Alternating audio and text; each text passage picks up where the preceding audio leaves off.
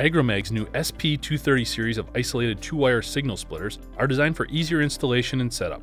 Four models covering a broad range of sensor signals provide dual 4 to 20 milliamp outputs proportional to a single current, voltage, or temperature input. They receive power from either output loop. A USB connection to a Windows PC or Android device enables simple, precise configuration of input-output ranges and a variety of operational settings with free software.